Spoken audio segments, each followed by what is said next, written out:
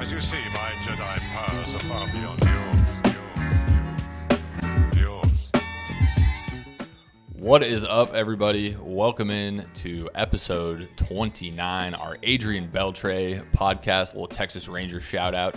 Uh, DCI podcast, episode 29. Another great day in the hobby. I am Jason, joined as always by big, sexy Bradley Crenshaw. Hope everyone is having a great week. Uh, first of all, want to direct everybody to um, like and subscribe to the channel. You don't want to miss out on any of our upcoming episodes, um, weekly podcasts, tons of short content coming out uh, daily here at DCI. We're cranking stuff out uh, content wise around the office all the time. It's uh, never never a dull moment here at DCI.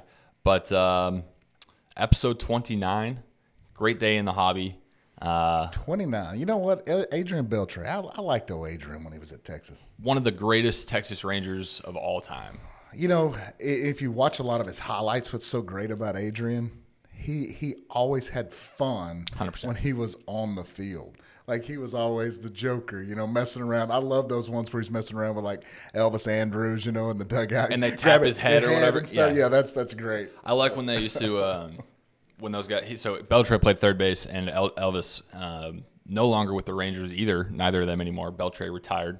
Um, they played that left side of the infield, and so whenever somebody would hit that, you know. Super high, towering fly ball to the left side of the infield. One of those guys, one of the two, would call the other one off, and a lot of times the, the other guy would get as close as they could to make the other guy uncomfortable uh, to see if they would drop that fly ball. You know what I mean? Coming down the line, the can of corn pop Yeah, fly, and um, it's fun. It is. It's fun to see guys who compete for a living still enjoy what they do. Yes, I mean you you've got to you got to have fun with it. Right. If you if you're serious about it all the time, I mean screw that. I don't want to do that.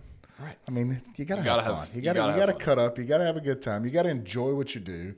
Um, you know, I always want to create an atmosphere inside of any company that I'm at of of you know relaxation, fun, but we still get the job done. You know, 100%. Um, you know when it, when it comes down to it, you know the we make it happen. It, we the we it mentality, whatever it takes. That's just you know that's just the way I like to run things.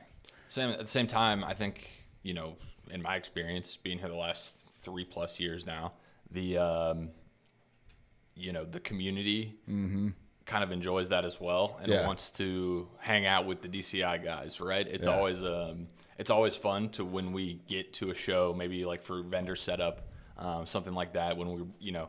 We don't we don't necessarily come in quiet usually. We've got all of our gear in our big ass tent, and um, you know DCI doesn't do anything quietly. I would say, No. uh, but it's really fun when we go when we go to some of these events and people are always like, "Hey, hey, there you are. There's the big tent. Like, Yeah. hey, good to see you guys." Um, Everybody loves the big D. everybody loves the big D. That's exactly right, and um, that's just something I think I can speak for myself. Um, hopefully, I you know can speak for coworkers as well. But if you love what you do, you never work a day in your life, Absolutely, and it's um, absolutely. it's a pleasure. Hey, we're gonna be getting a new uh, a new podcast set up, ain't we?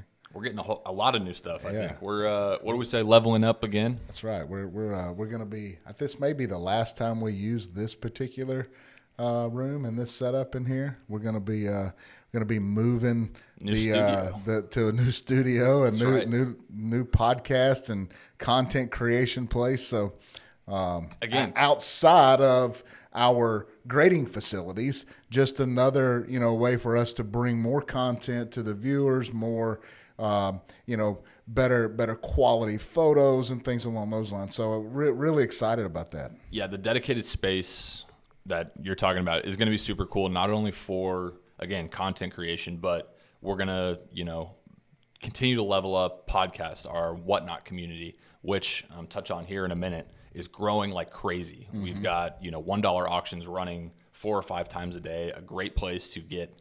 Um, Where, where, where where's that going on at?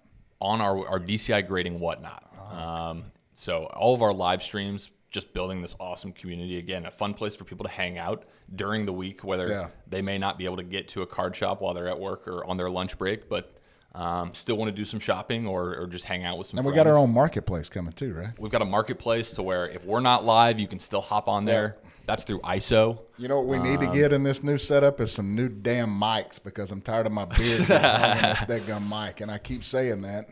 Lighting, we're gonna step it all up. Yeah, the mics, the Uh, sound, the uh, we definitely need some better lighting on you. That's for sure, I know. We, we, we definitely We'll turn the lights down over here. We'll turn the lights down on this side. We'll turn them all over. And that's that's the uh, the main the, one of our main changes. I think is You know, you, get you know, uh, you, you talk about going into a show and people being like, "Well, there's the DCI guys," you know, and it, it, it's funny because every time I go to a show, people come to me and go, "Please tell me you didn't bring Jason." Like, "Yeah, I left him at home." That's right. They don't. Uh, if I'm at if I'm at if I'm at the show, there's not going to be many tens given out. So uh, people know they got to earn it if I'm there. So uh, I got to make make them earn it. Uh, people want to people want to make money. So Yeah. you know when uh, when I'm there, it's it's going to be tough. I hear you. So what we got today, man? Man, we've got an awesome, uh, awesome set of um, topics today from the, Cool. the hobby and the sports uh, world in general. Real quick though, um, I do want to touch on our whatnot, um, our live streams, that marketplace that's coming Yep. as well. Something I've really um, been focused on this past couple of weeks, building that community. Um, again, we run one dollar auctions. We offer five dollar RCRs. It's a really fun place to hang out. We um, ship those orders out the next day. So again, really convenient access, quick access to modern new cards at a great price. We should just change it and make it donations at DCI grade. That's exactly right. Because that's pretty much what we do. We give stuff away. We are. there. That's exactly Yeah. right. And if and it, but you know what? It's all about providing the value right. back to the hobby. all about value. And as long as we can make it work on our end, we're going to continue Hundred percent. You know, I, I just somebody the other day we were talking about uh, being greedy in this hobby.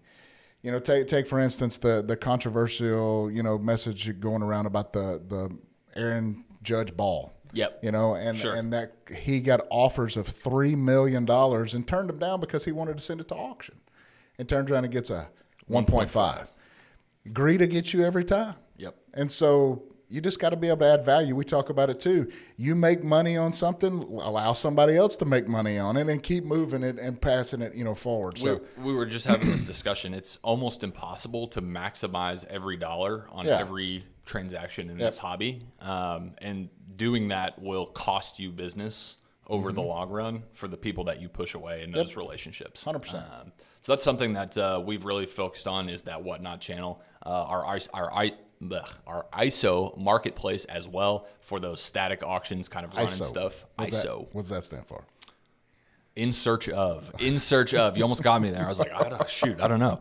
In search of. Super cool company. Um, really, really cool platform that's going to allow us to really level up our online. What are we going to be in search of? Anything you want, man. If you want it, we're going to sell it. That's that's what we do here at DCI. Nice. So we'll be saying selling like event worn, autographed Jason Dardick shirts. That's right. From the show. So like maybe maybe from the next Dallas show, I'll sign we'll- him up. He'll sign up a couple of those, and we'll auction those dudes I'll wear the off. same that, shirt that was four event days. worn, where All he gave days. out 10 tens, which is a a, a record. record, a it's a DCI. record. It is a new record. He was in Uh, a, gr- a great mood all weekend. a, a new record. As a matter of fact, there's actually some. I think we're going to talk about some of the, the records and, and things that you know have happened over the, this last week, right? That is. That's a good lead into our uh, first topic. Yeah. Um, I know that you are a diehard soccer fan, so I'm going to let you um, talk about our our World Cup final. Football. Football. That's exactly right. Um, no, we're back to American football now. World Cup's over. yeah. Uh, football is football now, That- and uh, that is exactly right. But I do want to talk about the historic, arguably the best. You know, a lot of people saying the best World Cup final of all time. It was incredible, Unbelievable. And I don't even know anything at all about soccer, but unbelievable and that's that kind of that high level of competition um, at the hi- at the highest level Yep. on the biggest stage it doesn't get any better than that two of the best uh, leo messi obviously the greatest of all time um, taking home the, the championship for argentina Yeah, it was just awesome. storybook ending for them and for him um, an unbelievable career and then to do it against kind of the the next up and coming um, you know Yep. Kylian Mbappe for France, um, who had a crazy game in his own right. oh, it, it was it Um, was yeah. I mean it. I got up and went upstairs and went in the movie room. My wife goes, "What are you doing?" I said, "I'm watching soccer." That's She right. said, You're doing what? Yep. Because I just don't. I don't watch soccer, but I knew that I was watching Tom Brady history. against Patrick Mahomes. I understood that. That's a great way to because, put it. I mean, Messi is the goat Yep. going against the baby goat, That's basically in, in Mbappe, and to watch those. I don't understand the rules. I, I I did, you know, I come back downstairs and I told her, I said, hey, you know what? I just realized what a what a what a tackle was. How you tackle somebody Yep. in in soccer, and you know, just by watching the Just game. And I the game. imagine if I watched enough of it, I could figure that stuff out. But I mean, it just what interests me was the, the two of them playing each other, and then when I got to watching them and the way they move with their feet and their ball and the way they can change directions, and it, it was just I was um, just amazed at watching it, and it just kept me. And then as they would get closer, I knew they were going down for a score, and they were moving the ball around, and I mean, it got me excited. and, I, and it, it they is. make the kick, and Well, and you hear all the time soccer. It's like the they call it the beautiful game, right? And it's it's that build up to the scoring, right? Like Yes. it takes them so much longer to build that play up, and then it goes in, right? And they're only using their feet. It's it's crazy. It looks like you know you and I throwing a ball with our hands. Yep. Um, on foot, you know, dead sprint. They pull a ball down out of the air with their foot, and it just drops, and they they keep running. with It's amazing what those guys can do. And I'm right there with you. I don't watch a whole lot of soccer, but I can Yeah. appreciate um, two of the goats, you know, going at it at the highest level. And again, that would be it would be like Tom Brady and Patrick Mahomes competing for a gold medal. You Yeah. know what I mean in the Olympics or something like that. It was so, Um, so awesome to watch. And then to see those videos of, of everybody in the streets in Argentina was just like, Talk about it, what it means. wow.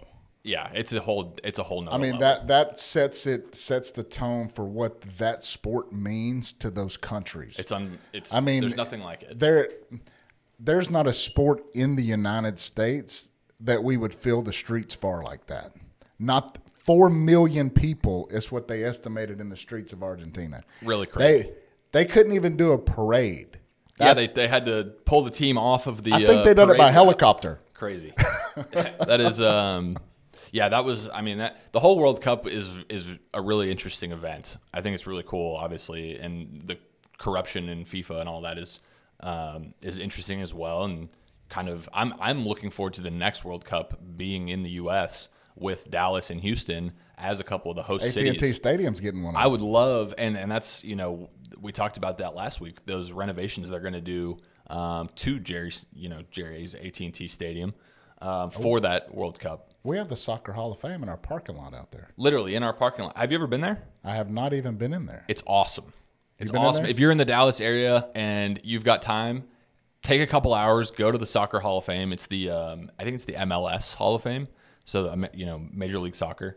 Um, it's right here in Frisco, five minutes from our office. It is awesome. They've got tons of like video, uh, VR, like interactive. You can like save penalty kicks and do. Um, Was Pele in the MLS?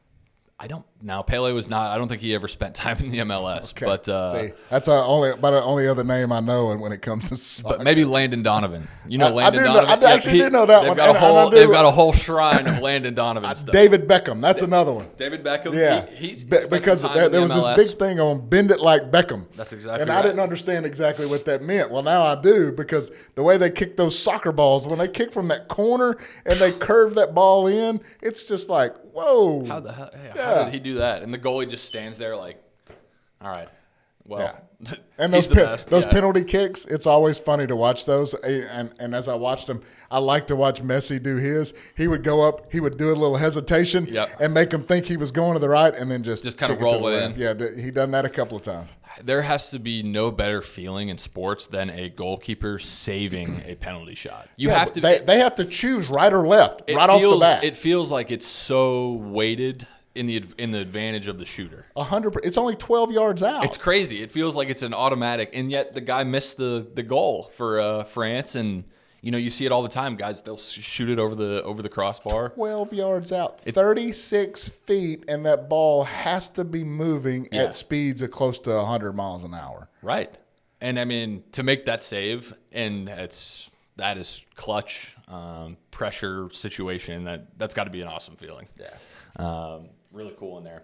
Um, there's a couple other records um, that were broken. I guess Messi uh, entering the record books as the, um, the with the Golden Boot and the uh, Argentinian World Cup victory. Um, we'll move over to the other football though. The uh, the biggest collapse in NFL history happened uh, over the weekend. Um, and and no, I'm own- not talking about the Cowboys. because I thought about our very own Grayson when I was watching that that game. That's exactly right. Uh, I actually wasn't even paying attention when it was 33 to nothing because I said this is a boring game. It's over. I, I, okay, so first of all, I'm going to be honest. I didn't even realize there was an NFL game on Saturday this past weekend, and so I I turned the TV. On. I know on. you didn't because you texted me about your fantasy football. I lineup. know, and I was like, oh man, like I totally spaced on that, and so I turned on the TV and it was 33-0, and I was like, oh, this is a replay or something like that. It's Saturday. I was like, wait a second, this is live. They're down 33 nothing. What the hell is happening to the Vikings? Um, and I don't think the Vikings are great. By the way, I think their record is a little bit uh, better than than their roster, but um, certainly did not expect them to go down 33 nothing to the Colts. Um, Yeah, there was a bunch of controversial calls too in that game that makes me believe that there's and it's happened a lot in the NFL recently and even in NBA, like uh, Luka getting thrown out the other night and things along. These these refs have got to be having that they've got some major bet lines going at Vegas because there is absolutely no way that the swings should happen the way that they do.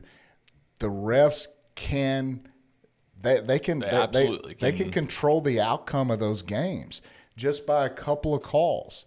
And I'm not saying that that's the way with every game. Right. But also, I don't know if you saw the video a couple of weeks ago of the the ref that walked out on the field and forgot to turn his mic off.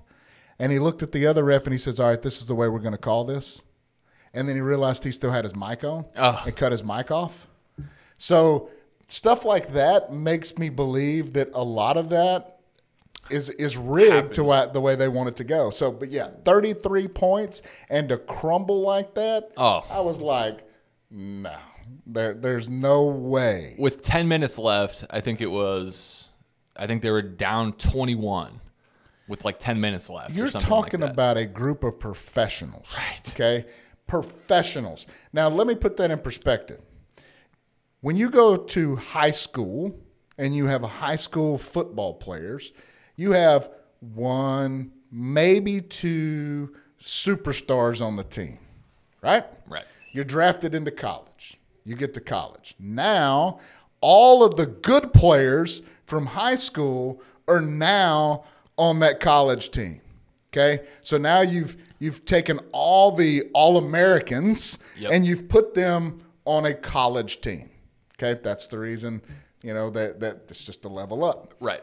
Now only 1%, I think that's about the statistics of that, give or take. 1% of those people make it to the NFL.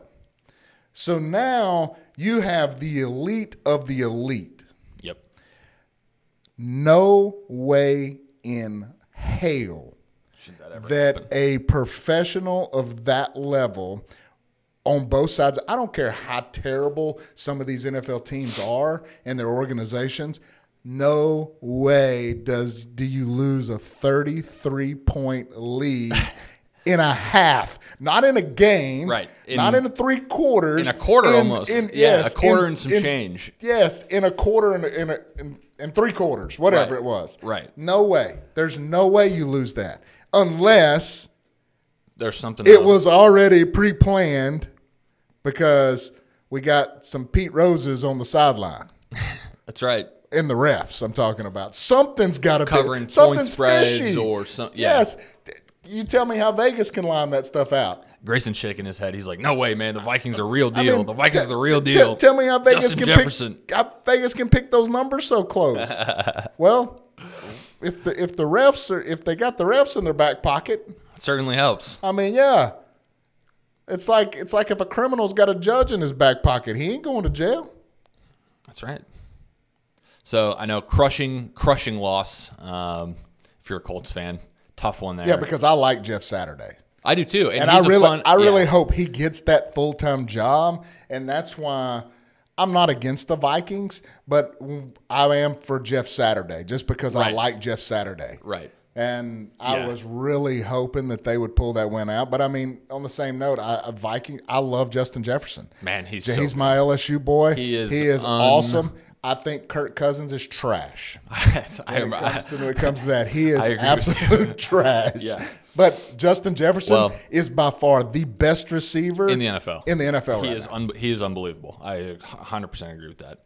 Um, talk about another tough loss, local team here, and um, kind of on the uh, on the back of Dak Prescott, who gets a lot of the Kirk Cousins comparisons um, to guys that are often compared to one another. Um, both, um, I guess, Kirk got the win, but Dak threw that game game um, losing interception uh, to the Jaguars in overtime. Uh, Cowboys go down. I know that was a, that was a tough one there, but how about did you see the end of the Oakland Raiders Patriots game? Um, with yeah, I the was sick. what are they doing? That's another I- one where you I make have- it to the NFL, you have to have some kind of awareness. I have Josh Jacobs on my fantasy team, Oh, and he no. had 95 rushing yards or 93 rushing yards. And I was like, good, we're going to overtime. I'll get my 100 and get my bonus. Yep. And I, I was sitting there watching that game, and I was like, are you freaking kidding me? what are you doing? Uh. And how, how about that tackle by Mac Jones at the end, just getting planted by the uh, Poor dude. Yeah, that that was a tough screenshot. He's going to have to live that one down for a while. Yeah. All right. Speaking of the NFL, those were our bad losses. Let's talk about your NFL top three teams right now. Give me your top three teams in today's NFL. Top three teams in today's NFL. Well, I mean, obviously in the AFC, uh, I mean, I'm going to go. uh, It's the Buffalo Bills, the Kansas City Chiefs. Mm-hmm. I mean, I still think that I still think those two teams are the, the teams to beat. teams to beat. Um, I had Buffalo picked to win the Super Bowl this year. The only problem that I have with that at the present moment, even though they beat the Chiefs in regular season, it's hard to beat somebody two year two two, times, in times. the same year. Yep. Um, and so that, and they're not playing their best football. They're defensively, they they've lost so many defensive players. I think uh, that they've lost Von Miller. He's out for the year now. Yep. And so those types of things, I don't know whether or not they're. You got to have a defense to be able to, or you got to be able to put up a crap ton of points. And I don't think they can. I think Josh Allen's trying to compensate for the lack of defense. Like trying. Yeah. And he does not throw the ball when he is down inside the 20 yard line. In the red zone, what is it? He always wants to run. And that's because I think his interception rates are higher in, the, red, zone than any other time. So I think he's a little little skeptical on making that pass. So, but Kansas City, uh, Buffalo, and then my team, my other team that I had to th- throw in that mix, I'll go NFC, and I'm going to go the San Francisco 49ers. I like that. Yeah, I like that. Unfortunately, I would have had the Eagles up there until the news that Jalen Hurts broke his collarbone. Um, really bummer, big, huge bummer for the Eagles there. Bummer for really football fans, as Jalen Hurts was just having a great year. Uh, he seems like a really likable guy as well, just a comp- true competitor. Um, so I think the Eagles will make a run, but I don't know if they necessarily have enough now with Gardner Minshew at the helm um, to to make that that final push uh, in the playoffs. But it'll be interesting to see it. I'm excited for NFL. Uh, NFL they kind of wrapping up the end of the year. Always fun. Um, I've never been I've never been on the Eagles bandwagon anyway. I just I, I don't I They don't do a lot I've for never me. had them Like- predicted to to win. I've never thought they were going to make it there. Uh, I didn't. what Like, helps is how bad their division is. yes, that that was the that was really the selling point of the Eagles going into this year, right? Because people were kind of down on the Cowboys. They'd lost some players on D and weren't really sure going into. price as a Jalen Hurts too was already had basically Super Bowl winning baked into the numbers. That's right, the 100, 144,000 for the Black Prizm Finite. And now Um, that he's out, literally two days prior. what does that do for all of the Jalen Hurts investors? Yeah, that one that hurts. Uh, no pun intended. Yeah, I know. That's uh, that one's tough. Yeah. All right, I want to wrap up uh, this episode with another quick top three. We had our top three, our power rankings uh, for the NFL. Okay. But as we head into the Christmas holiday, uh, Christmas this Sunday, I want to get your top three favorite Christmas movies. Your top three favorite Christmas movies as we head in to the holiday season. What are you looking forward to? Maybe spending some time with family watching on your uh, on the big screen. I don't watch a lot of. You don't wanna- movies, come on, man. To be honest with you, Come on, I'm man. Not a, I'm not a sit around with a hot cup of cocoa and. You look and like a bad Santa kinda guy. it- this that's just not. That's, I don't. I'm, I'll no. I guess if I had to throw one in there because they always watch it at my house would be Elf. I was gonna say everybody loves uh, Elf. You got to know Elf. yes, Elf. Elf's a classic. And I mean, of course, your classics of Home Alone. Yep. But I think if I'm gonna throw in another one, it's gonna be like you know Rambo: First Blood. That's you know? exactly one of So- my all-time favorite movies. That's that's a good Christmas That's an- movie. for that's an all-time great know, I want to I want to see somebody you know They drew First action, Blood, some, sir, some- not yeah, me. that's right. Some some killing or something. That's right. How do you stand? Where do you stand on Die Hard being a Christmas movie? I like some Die Hard. Too. Die Hard is a Christmas yeah, movie? It's All a right. Christmas movie. We'll throw that one up there. You know, I'll, I'll binge watch the Rockies. You know, all the Yep. way through. That's Christmas movie for me if I'm gonna watch some television. But to be honest with you, I really I won't even do that. I spend a lot of times during the during the holidays just you know reading and studying and prepping and getting ready, and yeah, that way I'm ready to hit the ground running for the for the new year. So It's awesome. Well, it's going to be a great holiday. I hope um, hope everybody has a wonderful holiday. so you asked me. I got a question for you. Yep. You asked me what my three contenders were. Uh huh. What are your three pretenders? That's a great question. NFL, three pretenders. I'm going to catch some flack for saying this. Right off the top, Dallas Cowboys. How about them Cowboys? How about them Cowboys? Yeah, I just um, I just don't see it. They don't have enough. Uh, So if you go back and check a couple episodes ago, I, I called what's going to happen, and here and I'm going to say it again. the first round bounce. Cowboys lose in the first round. Yep. They fire Mike McCarthy. Next, they hire Sean Payton, and then they'll make a content. They'll be a contender. I'm gonna yeah I I like Sean Payton, so I'd be cool with that. Um, I'm gonna piss off everybody. I'm gonna say the Vikings as uh, DCI Grayson uh, stares at me. I don't believe the Vikings. I are- don't think I'm the right there with Vikings- you. I- that's man, two I can agree with you. They've on. got uh, an inflated record, in my opinion. The Vikings, the Cowboys. Um, Kirk Cousins. Uh, f that up for him. yeah, um, I'm not. I'm not. The wild card standings are kind of like there's a lot of parity. You know what I mean? Like the top, the top couple teams are the the, the front runners. I think are again the Chiefs, the Bills. Um, I agree with the 49ers being a, a legit contender. I think their defense is awesome. Um, I'm not hundred percent convinced by the Ravens. Um, I like Lamar, and I like that um, it's a contract year, and he's got you know he wants to go and get all the money. Uh, power to him, but yeah, those would be my top three: the Ravens, um, Cowboys, and the Vikings. So give me your Super Bowl prediction right now.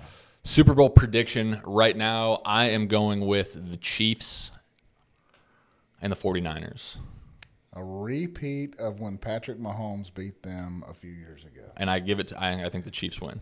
You think the Chiefs take And it? I and, and in July, I bet that the Buffalo Bills would win. Um, but I think Mahomes has shown me enough these last couple weeks. Um, and as the Chiefs defense kind of continues to get healthy, um, I think that they have leapfrogged, in my opinion, the Buffalo Bills and Josh Allen.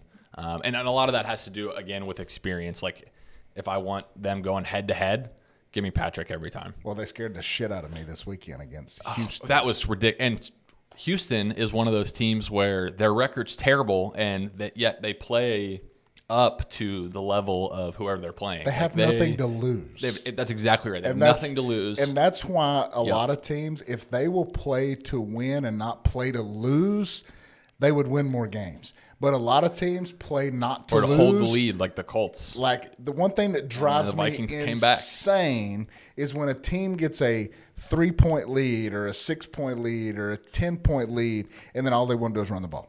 Yeah, just run the clock out. It's just it's just run the ball. It's it, you're you're playing not to lose. right. Play to win. Play to win. Definitely. Play to win. If you need me to come coach, I will. That's exactly right. Guys, I hope everyone has a very Merry Christmas. That does it for episode 29 of the DCI podcast. Make sure you guys are liking and subscribing to the channel. Don't want to miss out on any of our content. Also, come and check out our Whatnot channel. We've got $1 auctions, a great community to buy and sell cards, shipping that stuff out daily to you guys as well. Great access um, to the new products. It's a great place to hang out, a lot of fun. Um, we will see you guys next week. And as always, I am Jason, joined by Big Sexy Bradley Crenshaw. See y'all next week. See you.